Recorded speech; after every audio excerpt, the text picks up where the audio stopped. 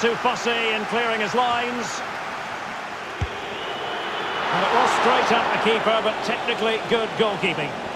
Eccentric goalkeeping. Oh, a goal! The error seized upon, and the goalkeeper left with egg on his face.